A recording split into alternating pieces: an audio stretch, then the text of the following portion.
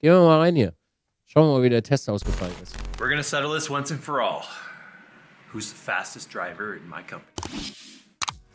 Get amazing prices on the brands you love at Micro Center. Micro Center has over 30,000 items in stock, including desktops, laptops, computer components, monitors, TVs, and more. Not sure which parts to choose for your next build?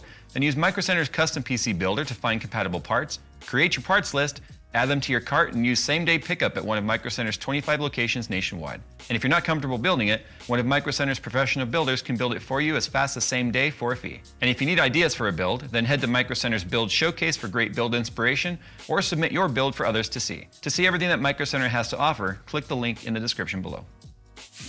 All the clickbait aside now, uh, remember when we built this rig here? This is the TRX racing rig from Trak Racer. Uh, we were sent the Moza gear that I said we would do a separate video on. I figured kind of a fun Ey, nur die Kamera, die da gerade ist.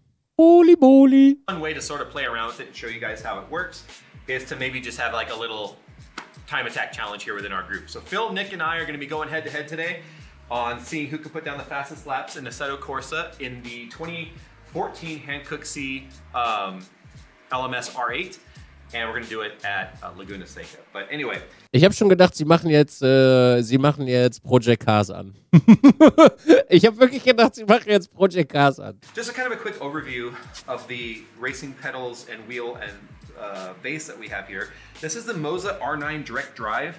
This is also our Quest Pro, which we are going to be using um, for VR. It's kind of their their upper mid level mid level base. They have like a R12, I think, too. That's even stronger than this one, but this is so much nicer than my Club Sport base that I have right now for my Fanatec that I got something like six, seven years ago.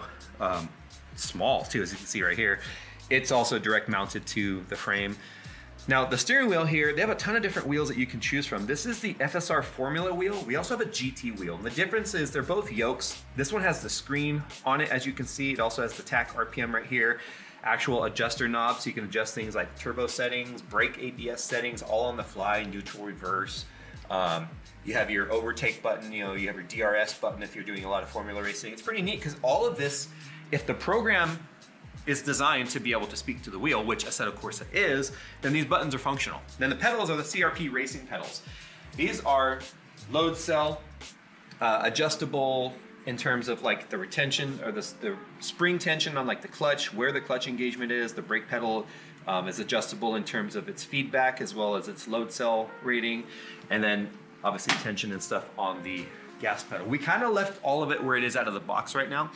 The brake brake pedal is a pretty nice feel where it's a lot firmer than a street car, but it's not as firm as say a non um, boosted or non like vacuum boosted um, race car, which those are like Das muss richtig knallen, muss das. Das muss als wenn du gegen eine Betonwand trittst. So muss das sein. very hard, like pushing on a cinder block, but they're designed to be that way. Um, we also do not have a shifter, as you might notice. So if we ever play around with cars that have an H pattern shifter, um, or a like a dog box or some sort of a um, sequential, we're gonna add that later. It's just they were out of stock with the kind of shifter that we wanted. I also want to put a hydro brake on here so we could play around with drifting in the future. So that's the setup here. In terms of its quality, because this is a direct drive wheel, um, and right now we're in the game, it actually has feedback to where it wants to go back to center. But when it's off, it will just spin indefinitely. It's not like there's an actual like clock spring in there that stops. So also too, um, you can set this up with an e-stop or an emergency stop, which I don't have, which would be nice, especially I have another one of these Wer benutzt denn bitte eine Notaus, Junge? Kein Mensch. Wofür? rigs for home, but I have a whole different wheel pedal setup that I have to put together. It does have an e-stop, and it's going to be like right up here because Phil has already had this wheel bite him. The tension on this, the force feedback tension is so strong that if you lose control and it starts like spinning around wildly, especially because it's a yoke and not a circle, the yoke can really smack your hand and it hurts. So like my kids, when they come here and they've already played on this a couple times with me watching, I'll go into the Moza software and I will basically put the force feedback to almost nothing. Let's take a look at the software real quick and then we'll just get right to it and have some fun. I figured it'd be fun. This is sort of like Top Gear's, you know, reasonably priced car, only we're doing it in a fast car that requires a lot of concentration and we're gonna get a few pra- practice laps and then an out lap and a, and a timed lap. However, the difference is Those that are not gespannt. driving are going to be heckling the person driving, trying to get in their head and screw up their time. So the software is called Moza Pit House. As you can see, it even shows you a visual representation of the actual wheel and base and pedal that's connected to it because they are USB devices. Anyway, 50% Force Feedback? Entschuldigung, excuse me? What? A maximum steering angle, you can adjust all this. Um, this is the game force back, uh, force feedback intensity. This is like I was saying when my kids are driving, I'm like, we're gonna go down to like 10%. You know what I mean? But anyway, I leave it at 50 right now. You can hit more, go into fine tune adjustments, wheel spring strength. As you can see, I've got it at 100. Um, wheel damper, like you can really uh, adjust this stuff if you want. That's the cool thing about a direct drive base is it's all it's all just the motor doing it. So there's no belts and return springs and stuff that are that are analog mechanical adjustment or me- mechanical features that can't be software adjusted. It's all adjusted right here. You might be wondering what this is for. Believe it or not, like with F1 cars and GT cars, you can like well maybe not necessarily F1, but certain cars you can adjust the boost like the turbo right here as a dial. So you can turn it up and turn it down as the race goes on. Same thing with ABS and or this right Das here would be a map for like your hat Moza gut ECU2, traction control, ABS. You can adjust all that on the fly. So the game, as long as it's designed to utilize that, can absolutely do so. Um, moving on without going through you know a ton of settings here. This is kind of neat. All of our pedals are set as a linear curve right now, but you can make it adjusted as an S curve, a concave, a domed curve, based on you know what your particular like I guess preferences would be. This is the screen type. You can change it to like the different. Um, right now it says lost connection, but that's fine. You can change the screen type to be something that you want it to be. Maybe you don't want to be showing your tachometer and gear and all, and your lap times and stuff. So you Schade, dass man das nicht in SimHub machen kann. Das ist wirklich schade und ich hoffe, dass sich da Moza nochmal öffnet adjust that. Das wäre cool. This is the hub. This is for if we don't have a hub on here, but this is if you're atta- attaching other stuff like the little. They have a Moza has a little dash that can be mounted to the top of the frame. It's got its shifter and its handbrake. I will need this when I go to do the handbrake and shifter on here. Um, so this becomes a control hub for the parts going to it, and then this connects to the computer, which is kind of nice. It's pretty good software. Äh, Das geht, by the way, auch ohne, ne? Also ihr könnt auch äh, Pedale, äh, Pedale ich schon, Handbremse etc. pp. könnt ihr auch einzeln anschließen. Also man braucht den Hub nicht zwingend. software. And the reason why I say good software is coming from Fanatec, and I know I keep comparing it to Fanatec, it's the only other like boutique brand I have to compare with. It has been a nightmare with Fanatec. Fanatec has finally moved on to a GUI style like this, or graphics user interface, but it's still not as good as Moza's. And it's funny because Moza came along way after Fanatec. So Fanatec Warum gibt es denn den Hub, falls du, ähm, falls du wenig Anschlüsse frei? Na, der Hub hat den Vorteil, dass du nur ein Kabel zum Computer führen musst. Jana. Ne? Also es gibt ja Menschen, so bei, bei mir jetzt als Beispiel, ich habe jetzt drei USB-Hubs an meinem, ähm, an meinem Sim-Racing-PC. So, es gibt ja Leute und es gibt auch Mainboards, wo vielleicht nur drei oder vier, fünf USB-Ports dran sind, wo ich mir dann wirklich überlegen würde, ob ich mir nicht ein anderes Mainboard kaufe, weil das doch schon sehr wenig ist in der heutigen Zeit, aber auch wieder auf der anderen Seite nicht jeder so viele USB-Ports braucht. Und dafür ist der Hub halt da. Du kannst aber auch, äh, Moment, also Mosa selber hat auch äh, hier drinnen den Hub noch. Ne? Also man kann das jetzt hier mal sehen. Du könntest jetzt beispielsweise hier auch das Dash anschließen oder die Pedale. Das geht auch. Also die, die Möglichkeiten bestehen auch, dass man einen Großteil der Sachen auch schon selber in der Wheelbase anschließen kann und nicht zwingend den äh, Hub braucht dafür. Ne? Der Hub ist ein cooles Goodie, mm, aber wie gesagt, braucht man nicht unbedingt. is a German company, and I feel like they were very slow to innovate in terms of the software. So Die sind auch immer noch slow. There's that. All right, so while Nick gets himself adjusted here, here's how we're gonna do this. They're gonna get three practice laps. If you crash and reset, that's a lap. So then you're gonna get a restart, which is where right now in Laguna Seca, this is before the fast 90 left where you go onto the front straight. Technically, that's not an out lap because you're gonna have full speed by the time you cross the line, but we're gonna do two laps. That cross the line, cross the line again, and when you come back, whatever your best time is, that's your time. And I think whoever loses today should have to buy lunch. If you guys are wondering, we have John Wick coins that were printed that we each have that we have to pay each other with whenever the other person wants like lunch from that person. Now, one of the rules is, as hecklers, we cannot interfere with the driver, the headset, or the rig in any way. So I could be like, I'm not touching you. I'm not touching you. I'm, I'm not touching you. I'm not interfering with you directly. You, you can see that. Because Yeah, I can. it's It's not sealed off. Do you feel like breathing? Crows.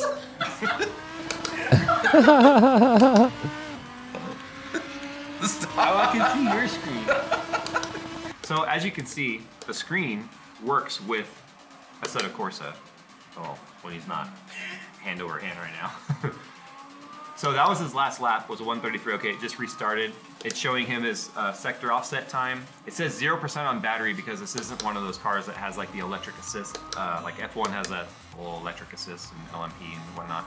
Shows us our current tire temperatures, um, current speed in kilometers, what gear we're in, the overtake, you know, is active, well, available, I guess, which doesn't exist in this car. So it's pretty neat. Shifter So mag this ich is nicht. Nick's last practice lap. Oh, look, it's an RGB shift light. I know. I, I love that. Get closer.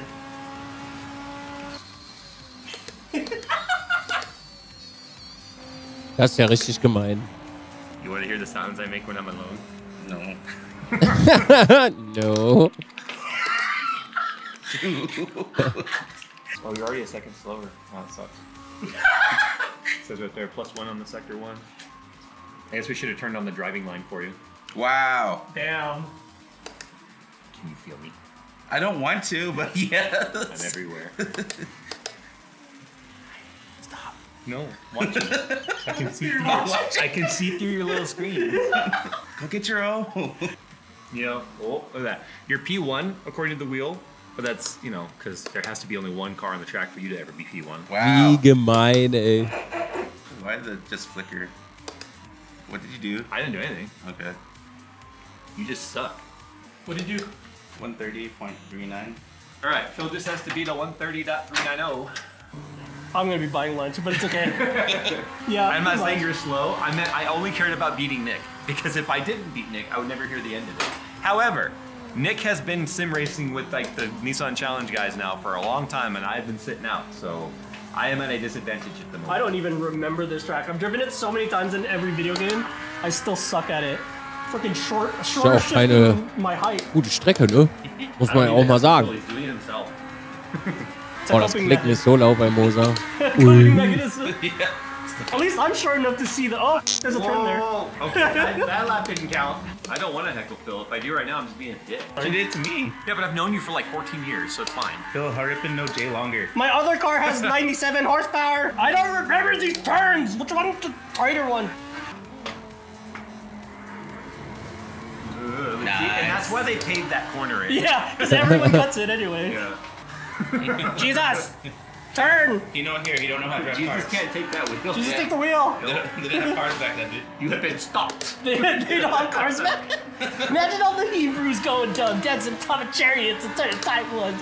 Ooh, tell me when to go. Controller fell off. All that track. All that track.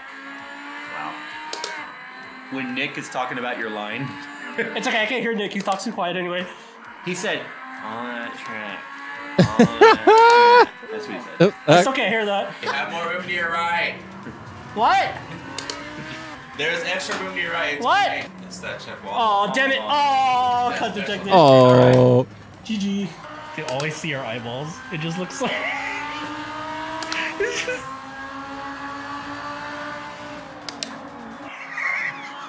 That sun is really in your face right there. a star does that. It's not a star, it's a sun. It's your sun. Is that a fat joke? He's really focused. He really doesn't want to move. No, th- it doesn't have ABS, so of course there's a lot of concentration to make sure I'm not locking it up. Oh, that's a curb. Dang it. Wow. Jay actually crashed it. I didn't even Uh-oh. crash it. Dude, that curb. I think it's just cosmetic damage, honestly. Your face is cosmetic. Wow. das war gemein. Come over here and breathe on him or something. I don't want to breathe on him. This is Nick heckling. I don't really. Nick's like, I saw his practice laps. He doesn't need any help. I'm pretty, I'm pretty comfortable. As I said. Wow. right now he's literally he's driving to You visualize you win. yeah. He's like he sees that. He's like looks it. visualizing the cheesecake factory right now. He saw the mountain screen. yeah. Oh, there it is. I lost. Oh wow, dude. The- you see the marks right there? Here, let's go look at them. Oh my god! No, so does that mean tiebreaker for me and Jay? Because we both DNF? No, because I got one good lap, Oh yeah. and so did you. But my one good lap, I don't think was. I don't know if it was faster than you. 133.644. Wait, what was mine? Six four five. Oh my god! There's no way we could have planned that. Oh my god. I'm actually mad that it's a thousandth of a second that I have to mention. Huch. and I end up with lunch. Well, clearly I lost because it sucks. You know, Mimosa's terrible. we're gonna kind of keep this going. We, we decided we were gonna keep like a whiteboard somewhere, and we're probably not gonna do it in like an LMS car. We're gonna do it like literally the reasonably priced car, and we were thinking the Honda Fit, which to be honest is actually kind of hard because once you get speed going with that, it doesn't want to turn. So we'll play around with that. Maybe we'll make a spreadsheet that somebody can just kind of keep an eye on online for the Der Bildschirm, Alter, auf dem recht auf dem Tisch da ist einfach so okay. own entertainment to be like, who's winning this week?